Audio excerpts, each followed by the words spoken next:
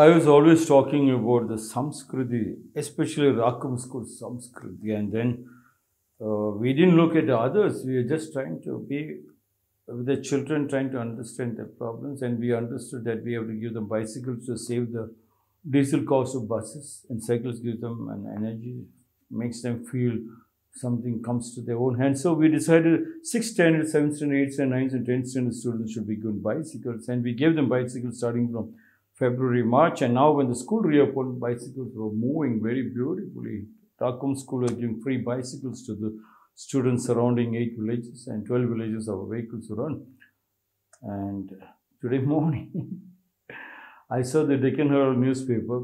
Our Karnataka Chief Minister Basavaraj Bommai sir has said that if government school students want bicycles, he's ready to give for eighth standards. So you see, our culture is much ahead. If we are very close and we are loving our culture, see, we can see it is others follow follow us. Mahatma Gandhi said, provoke till they respond. And that is the strength of the civil disobedience movement. Here it was not a provocation, I think. It was just a way of life for us, understanding the pain and the suffering and to cut down the cost. And when we did it, you look, this government itself is following Kitaro Nishida, born on 19th May 1817, Kanas.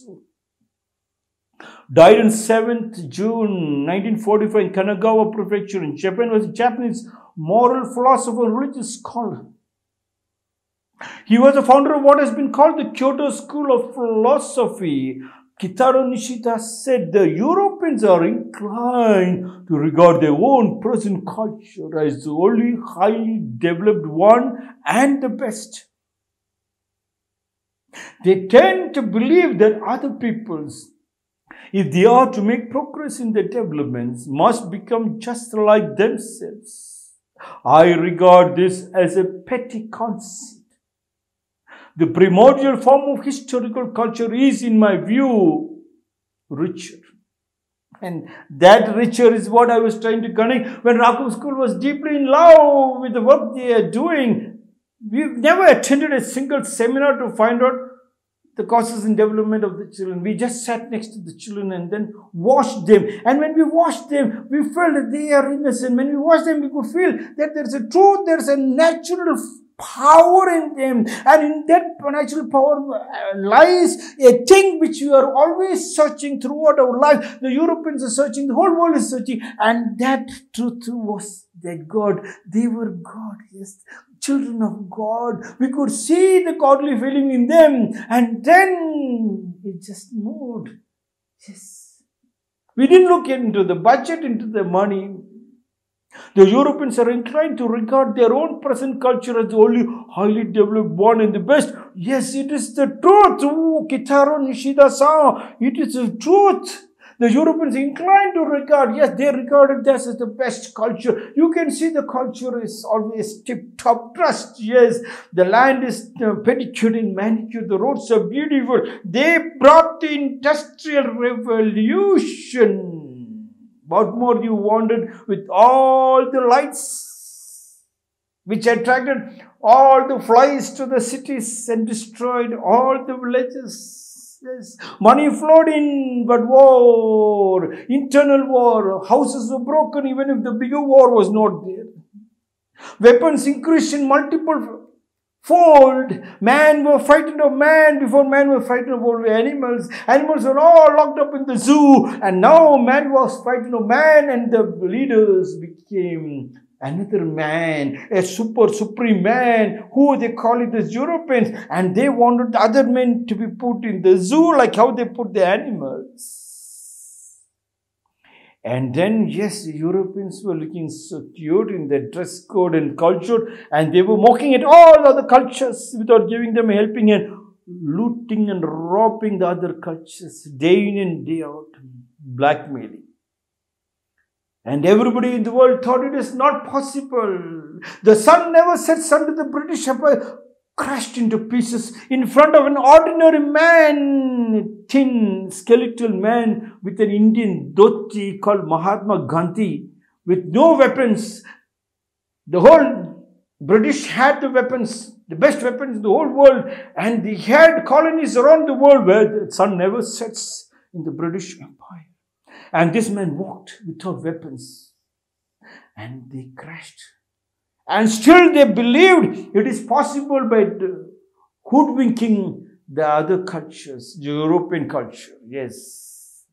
They tend to believe that other peoples, if they are to make progress in their development, must become just like themselves.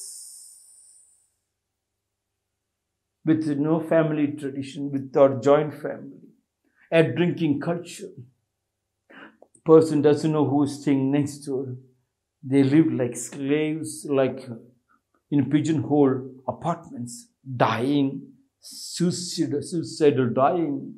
And even I believed that European culture was one of the best. They look very beautiful. The roads are so clean. And in that cleanliness, which disease can come? And they had all the diseases possible in the world. Year after year, they're pumping money in huge lot. And their people are dying with heart diseases. The world's most diseases people die was in those countries. I regard this as petty conceit. Kitaro Nishida said, I was thinking Kitaro Nishida-san was telling a lie. And, and then, now I understood. You, Nishida-san said, as a petty conceit. Yes, petty, petty conceit, yes. With all the weapons in the world without any weapons. A biological weapon in the form of corona came no weapons could even kill them, see them. Such was the power when you destroy your culture and you create an industrial revolution to mock and drag people into the, into the cities and use them and throw them into the dustbin. And the, when the wives and children and the parents are crying in the villages, you enjoy enjoyed. Corona came, they could do nothing. They died in lakhs in millions without a single bomb being fired. The primordial form of history culture is, in my view, richer. Primordial culture, in my view, is richer. It's not about the richer. It is the way how you have been practicing your samskriti in a joint family, not in a nucleus family. Suppose you are in a nucleus family, please make sure to go to your joint family. Yes, you have to only listen you do not have to open your mouth. Please do not open your mouth. The moment you open your mouth, you are in trouble. Observation is very, very important. You are able to see, but you never observe. When you go to the joint family, just observe and try to find out what you can give. The primordial form of history culture is, in my view, richer. Yes, it was richer because from the childhood, the son follows the father, the daughter follows the mother. And yes, from the childhood, it has got get imprinted every cell of the, the brain. And when the time comes, it strikes without thinking and flows without thinking. Art flows the speed of the art, can you believe? When the rain comes, thunder and lightning is not a problem. The children run into the lake and they dive, We get caught in the whirlpool. Nothing happens. They were the sons and daughters of the nature. The moment you got disconnected from the nature of the son and daughter and you became the son and daughter of the materialistic world, there where the problems came. You still can go back at least once a month, once in two months, keep in touch. But make sure every day without a fail to understand the richness and to become the richest man in the world, the richest culture in the world. Make a call every day without fail to your family tree to the joint family. And do not forget to make a call to your wife or a husband. If the husband has gone to the office, my wife should call morning, afternoon, and evening, and Husband also should call back. Children should call the parents. Keep in touch. And that is our culture. Nobody else in the whole world can destroy that culture. And in that culture lies the most powerful weapon which can stop even corona. And you think I'm joking. No, no, no. When Corona hit, we were in Indira Nagar. We just moved to this land and we walked in the sunlight. Nothing we did. Morning 6 to evening 6. Nobody was affected.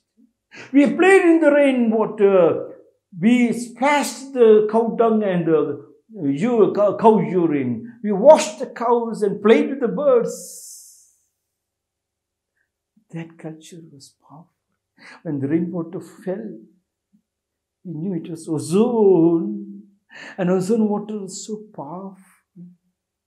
No culture as powerful as our culture of the joint family.